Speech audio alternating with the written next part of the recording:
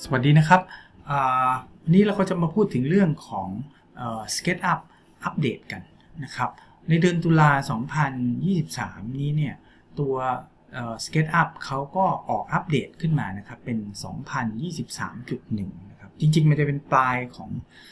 ท้ายๆ ของ Release แล้วแต่ว่าก็มีอัปเดตมา เราก็เลยมาดูว่ามีอะไรน่าสนใจบ้างนะครับ อันแรกเลยก็คือ อาจจะไม่ใช่เรื่องใหญ่เขาเปลี่ยนไอคอนนะครับ เราจะสังเกตได้ใน release ใหม่ไอคอนมันจะดู simplify ขึ้นเหตุผลก็คือเขาบอกให้ไอคอนเหล่านี้มัน synchronize กับไอคอนที่อยู่บนตัว SketchUp for iPad นะครับ จะได้สร้าง environment ที่คุ้นเคยเหมือนกันนะครับ ก็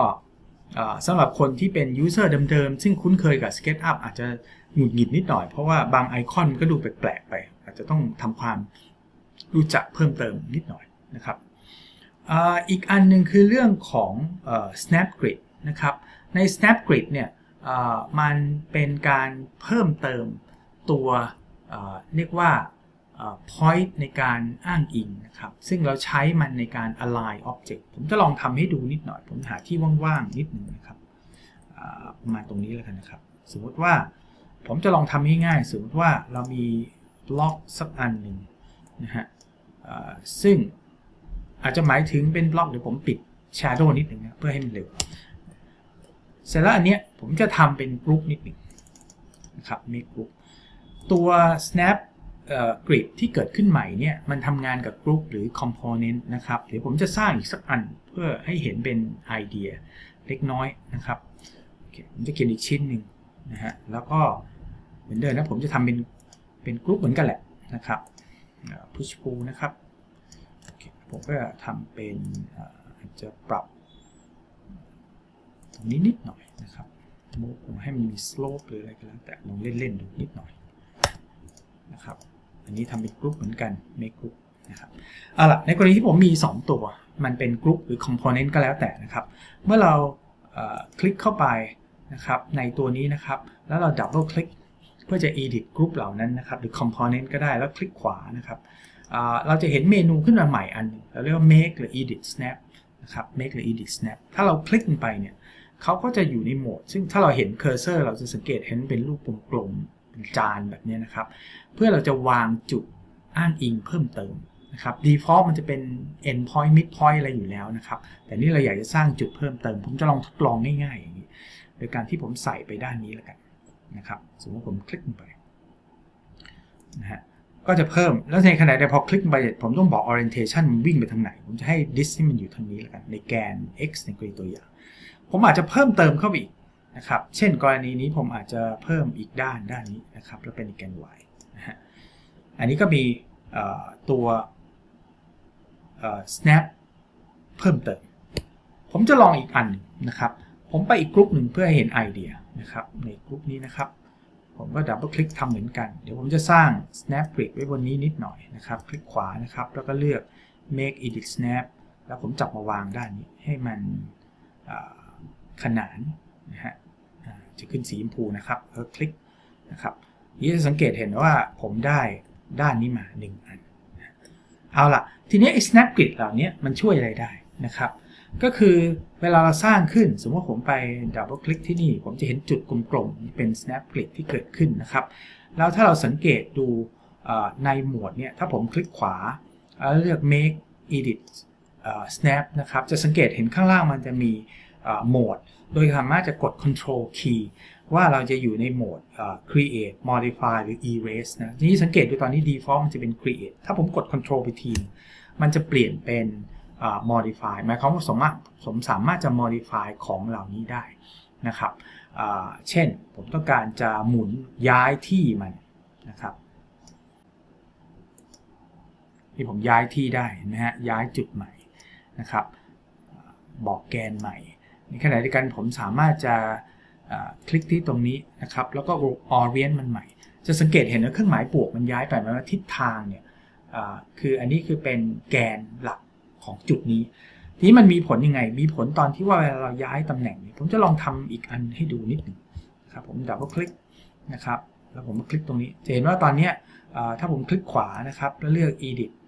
make edit snap เนี่ยจะเห็นว่าตอนนี้มันมีแกนแกนนี้มันตั้งขึ้นนะครับหมายความว่าถ้าเกิดผมเอาอีกแกนมา align กันเนี่ยมันจะใช้ไอ้เครื่องหมายบวกเนี่ยเป็น alignment นะครับเดี๋ยวจะลองให้ดูนะฮะทีนี้อีกโหมดหนึ่งก่อนนะฮะอีกโหมดหนึ่งถ้าผม double click เข้าไปที่นี่ นะครับ คลิกขวา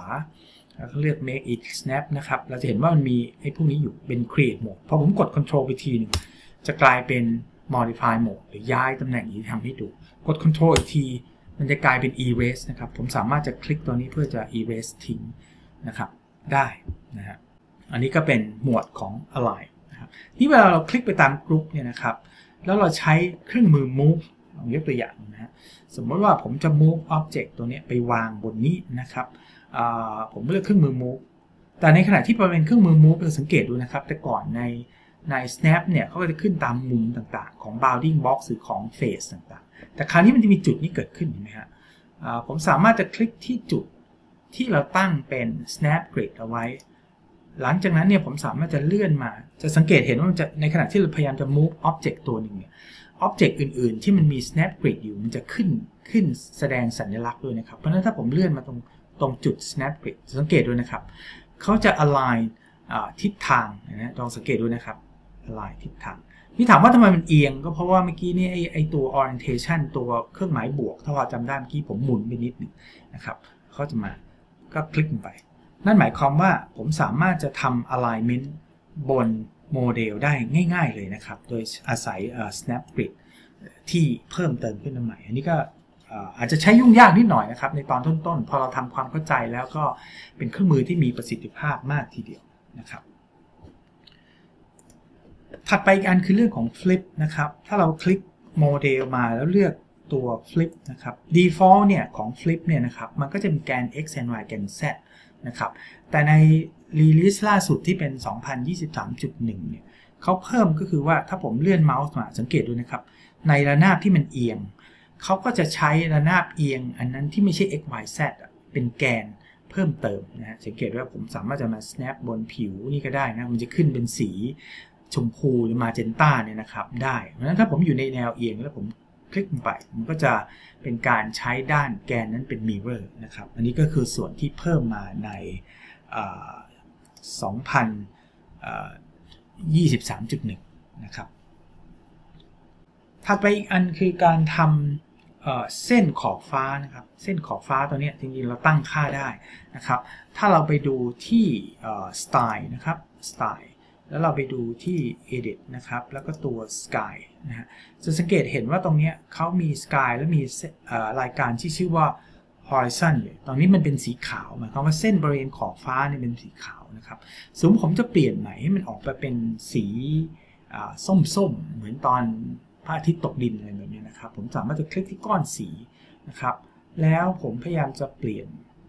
saturation นิดหน่อยเปลี่ยน hue นะครับ ให้มันอยู่ทรงสีส้มยกตัวอย่างนะครับ แล้วผมสไลด์มาอยู่ประมาณตรงนี้แล้วผมโอเคไปปุ๊บสีเนี่ยมันจะถูก apply ตรงเส้น horizontal line นะครับ เห็นว่าตรงนี้ก็จะเป็นแบบนี้ ส่วนว่าเราอาจจะปรับสีให้มันอ่อนลงหน่อยหรืออะไรก็ตามใจนะครับ เราจะ adjust ดูโอเคนะฮะเราก็สามารถจะ adjust ตัวเส้นขอบฟ้า ซึ่งทำให้ซีนมันดูมี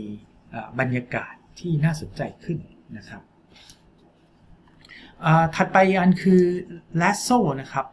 lasso selection ตรงนี้นะครับ เดิมเนี่ยถ้าเราสังเกตดูเวลาเราเลือกที่ lasso ผมจะลองทำให้ดูนิดนะฮะสมมติว่า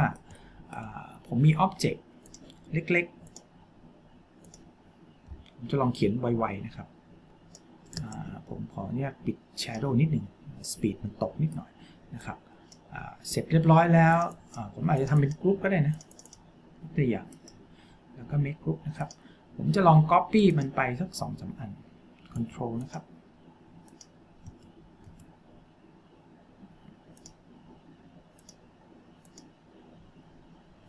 โอเคนี่บางทีเรามีอ็อบเจกต์หลายอันนะครับปกติ lasso เนี่ยเวลาเราเลือกเนี่ยเขาจะให้เรากด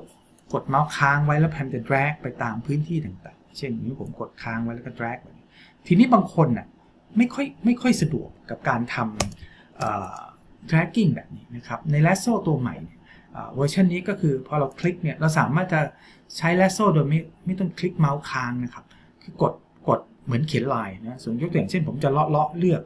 object แถวๆนี้นะครับ ผมสามารถจะคลิกคลิกนะครับ แล้วก็ double click ปุ๊บจบมันก็จะเลือกแค่นี้นะครับ เพราะฉะนั้นการทำแบบ lasso โดยโดยเป็นการลากลายเนี่ยก็จะช่วยให้มันสบายขึ้นนะครับ ถ้าใครที่เคยลองใช้ lasso บางคนไม่ค่อยชอบนะครับ เพราะว่ามันเกร็งมือมาก อันนี้ก็จะสบายขึ้นเยอะนะครับ อันนี้คือแลโซ่ อันนี้คือในส่วนของตัว SketchUp เองนะครับ ถัดไปอันในส่วนของ Layout นะครับ ถ้าเราดูที่ Layout นะฮะ ใน Layout เนี่ย ถ้าเราไปดูที่ตัวไฟล์แล้วก็ Document Setup นะครับ มันจะมีเรื่องของการควบคุมการ render นะครับ ถ้ารู้ที่ rendering หัวข้อเนี่ยนะครับ จะสังเกตเห็นว่าเราสามารถจะควบคุม rendering ว่า display กับ output ที่ออกไปที่ printer หรือเป็นที่ไฟล์เนี่ยแยกกันได้นะครับแต่ก่อนนี่มันมันมันแยกไม่ได้ เพราะฉะนั้นแบบได้ quality ดี ในการทำ output เนี่ยเราต้องทำให้ display บนจอมดีขึ้นด้วย แต่ว่ามันทำให้แน่นอน display ที่ละเอียด มันก็ทำให้ speed มันตกใช่ไหมครับ ตอนนี้เราสามารถจะ display resolution อาจจะเป็น medium ก็ได้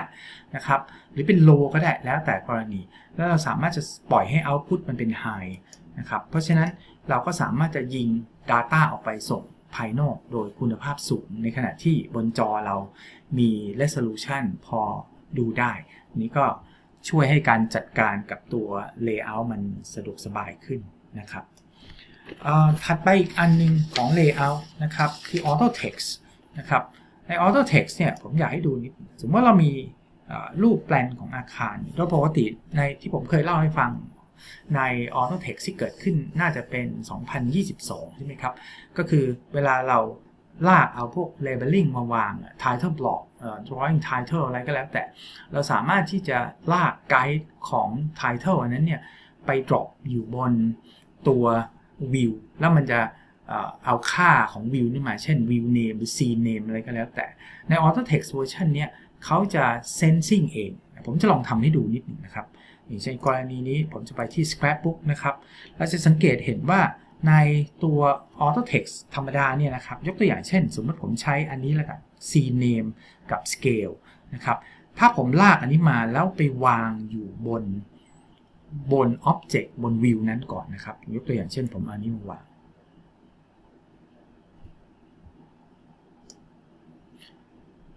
จะสังเกตเห็นว่าพอผมวาง drop ลงไปปุ๊บเนี่ยสังเกตดูตรงนี้นะครับ มันไปดึงค่าของตัว floor ซึ่งอันนี้เป็น c name อันนี้มานะครับ ผมจะลองย้ายที่ดูนิดผมอาจจะดึงมาไว้ข้างล่าง หมายความว่าตอนนี้มันดึง Data มานะครับจาก scene แต่ผมสังเกตดูว่าบางทีในในบางตัวมันอาจจะบั๊กหรือไม่แน่ใจนะครับ ก็คือสเกลบางทีมันไม่ขึ้นนะครับ ทั้งทั้งที่วิวพอร์ตนี่ถ้าเราเช็คดูนิดนึง viewport ของเราอะมันมีสเกลอยู่เห็นไหมฮะ แต่ตัวนี้มันไม่ขึ้นอันบางบางตัว element ใน scrapbook มันก็ auto นะครับ แต่ว่าตัวนี้มันยังคงต้องอาจจะต้องไป edit นิดหน่อยเช่นผม double click ดูคลิกที่นี่นะครับ แล้วผมก็จะลองแก้มันนิดหนึ่งโดยการ double click ที่เส้น แล้วผมโยงกลับเข้าไปให้เจอ Object เพื่อให้มันให้มันขึ้นสเกลอันนี้เหมือน เหมือนอันเดิมนะครับ ผมเข้าใจว่าอันนี้มันอาจจะต้อง adjust นิดหน่อย เพราะว่ามันเหมือนกับว่าตัว title บางตัวมันก็ใช้งานได้บางตัวก็ใช้งานได้สมบูรณ์อะไรแบบนี้นะครับอันนี้ก็แต่มันก็ช่วยให้การจัดการมันง่ายขึ้นเยอะนะครับแต่ว่าต้องเข้าใจว่าตอนที่เราลากมาเนี่ยเราต้องลากลงไปบน Object ก่อน เพื่อให้มันเซนส์ค่ามาแล้วค่อยดึงมันกลับนะครับ อันนี้ก็คือเรื่องของ auto text นะครับ อีกอันคือ scrapbook scale นะครับ ก็คือในกรณีที่เราทำผมยกตัวอย่างนิดหนึ่งสมมติว่าผมไปที่ page elevation แล้วกันสมมติว่าผมต้องการเอาต้นไม้มาใส่แล้วคนหรือรถมาใส่ใน elevation เนี่ยนะครับ ถ้าเราสังเกตดูเวลาที่เราไปที่ scrapbook นะครับ แล้วก็เราเลือกจะเป็นรถยนต์แล้วกันนะครับ ในรถยนต์ตัวนี้เราสังเกตดูนิดนึงนะครับ มันจะใช้คำว่า scale group อะไรก็แล้วแต่เนี่ยไม่เป็นไรนะครับ แต่เดิมเนี่ยพอเราลากมาเนี่ยมันไม่รู้หรอกว่าหน้าจอเนี่ยมัน scale เท่าไหร่ แล้วก็เวลาเรา adjust เราต้อง adjust เองนะครับ คือไป scale manual แต่ตอนนี้มันมีตัวช่วยนิดหน่อย ผมจะลองดูง่ายๆ สมมติผมลากเอารถยนต์คันนี้มาสักคันมาจับมาวางนะครับในนี้นะฮะ เราจะสังเกตเห็นว่ามันจะไซส์เท่าไหร่ช่างมันในนี้ plan ใน viewport ผมเนี่ยมันประมาณ250 นะครับ ผมสามารถจะคลิกขวาที่ตัว Object ใน Scrapbook ตัวนั้นเนี่ย แล้วมี option ของ Scale เกิดขึ้น ผมก็อาจจะ add ค่า Scale ที่ถูกต้องลงไป เพราะนั้นมันก็จะได้ scale ซึ่งได้ sizing ซึ่งตามที่มันควรเป็นใน scale อันนั้น ซึ่งช่วยเราทำงานง่ายขึ้นเยอะนะครับ แต่ก่อนเราต้อง drag เอาเอง คนก็น่าจะคล้ายกันนะครับ ผมลองให้ดูคน people นะอันนี้ก็เหมือนกันนะครับ สมมติว่าผมลากคนเข้ามาสักคนจับมาวางตรงนี้นะครับ เหมือนกันคลิกขวา scale ผม 250 เหมือนกัน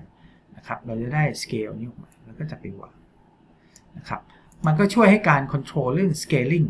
ในรูปด้านในแปลนอะไรก็ตามเนี่ยมันสะดวกขึ้นเยอะนะครับ อันนี้ก็ไม่เลวน่าสนใจดีนะครับอีกอันหนึ่งซึ่งเพลินผมอาจจะโชว์ในนี้ไม่ได้นะครับ ก็คือ ตัว display เนี่ยเวลาที่หลายคนมีหน้าจออาจจะเป็นโน้ตบุ๊กหรืออะไรก็แล้วแต่ หรือแม้กระทั่งตัว external monitor ที่เป็น high res หรือ 4K อะไรพวกนี้นะครับ ก็เราจะพบว่าบางครั้งไอคอนต่างๆของ SketchUp อะมันเล็ก เมื่อเจอหน้าจอแบบนั้น แล้วเราก็ต้องไปทำการ scale ใน Windows เอานี่เวลา scale ใน Windows เอาอะหลายครั้งเลยพบว่าไอคอนมันเบลอนะครับ แต่ในนี้เนี่ย อย่างหน้าจอของผมตอนนี้ที่เราเป็นตัวอย่างเนี่ยครับ resolution ผมจริงๆอะหน้าจอเดิมอะผมอยู่ที่ 2K นะครับ แล้วก็ในหน้าจอตอนนี้นะครับ 2K แล้วผมก็ทำ scaling ไปหน่อยนึงเห็นว่าไอคอนก็จะมีสภาพที่ค่อนข้างคม อันนี้ก็ดีขึ้นนะครับ แทนที่มันจะเบลอๆสำหรับคนที่มีจอ high res นะครับเรื่องถัดไปคือเรื่องพิมพ์งานนะครับ ถ้าเราไฟล์ print เนี่ย เราจะพบว่า print dialog ของของตัว layout และ SketchUp นะครับทั้งคู่นะครับมันเปลี่ยนไปโดยไปใช้ตัว print ของ Windows เป็นเบสเลยนะครับ เพราะฉะนั้นเดิมที่เป็น dialog ของ Windows เองอของ SketchUp เองหรือ layout เองที่มันโดยเฉพาะในส่วนของ SketchUp เนี่ยซึ่งมันมี scaling ว่าเราจะเอาเท่าไหร่ใช่ไหมครับ ตอนนี้ไม่มีละอันนี้อันนี้โดยส่วนตัวผมก็ไม่ค่อยชอบนะครับ แต่ว่า จะด้วยเหตุผลใดก็ไม่ทราบแหละ มันก็กลายเป็นว่าตัว print dialog ใน SketchUp เดิมที่เรามี scaling control ได้ ตอนนี้ก็ไม่มีแล้วนะครับ สิ่งที่เราทำได้มันกลายเป็นว่าเราต้องเอา SketchUp view ทั้งหลายแหล่เนี่ยมาวางอยู่บน layout อีกทีหนึ่ง เพื่อจะ print ออกมาให้ได้ scale นะครับ อันนี้ก็ก็โดยส่วนตัวไม่ค่อยชอบเท่าไหร่นะครับ อันนี้ก็ไม่แน่ใจนะครับเขาก็แจ้งว่ามันเป็นเรื่องเกี่ยวกับ reliability ของ ปรินเตอร์อะไรก็สุดแท้แต่นะครับ ที่เหลือก็เป็นเรื่องของการแก้ bug ต่างๆนานานะครับ ถ้าดูในใน help หรือหรือพวก readme ของ release document ว่าเป็นยังไงก็พวกเราก็ลองไปศึกษาดูนะครับ แต่นี้ก็เป็นส่วนที่น่าสนใจที่พวกเราเอาไปใช้ได้ โดยเฉพาะอย่างยิ่งเรื่องของการทำ snap print นะครับ ก็ไปลองทดลองกันดูนะครับสำหรับคลิปนี้ก็สวัสดีก่อนนะครับ